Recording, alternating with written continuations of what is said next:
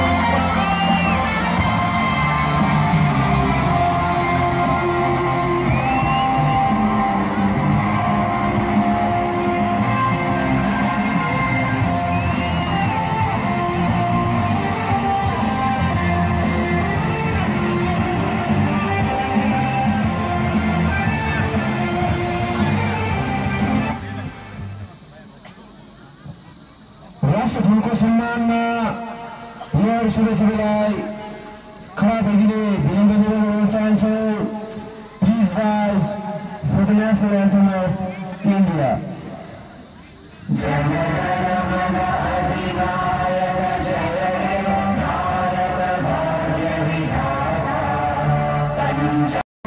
चयन गरिएको छ त्यो नाम छ सिक्किम प्रदेशबाट जर्सी नम्बर इलेभेन प्रशान्त र प्रशान्तलाई आफ्नो म्यान अफ द म्याच ग्रहण गर्नको निम्ति यस मञ्च अघि आइदिने आयोजक समितिको तर्फबाट सुकिया थानाका अधिकारी वर्गलाई खदार्पण खदार्पण गर्नेको साथसाथमा ट्रफी प्रदान गरिदिनको निम्ति निवेदन गर्न चाहन्छु।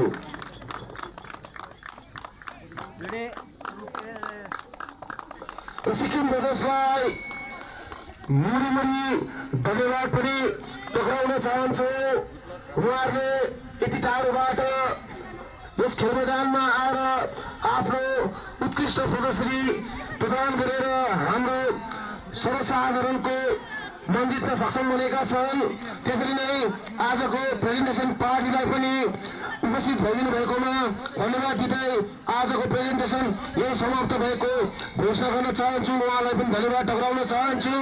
र भोलि हाम्रो आफनोला तेस्रो क्वार्टर फाइनल खेला रहेको छ। कलकत्ता पुलिस क्लब बनाम युनाइटेड दार्जिलिङमा छ। त्यसरी नै बाइस तारिकको दिन मिनेरवा पन्जाब बनाम टेरिटोरियल आर्मी दार्जिलिङमा चौथो अनि अन्तिम क्वार्टर फाइनल खेला रहेको छ। धन्यवाद।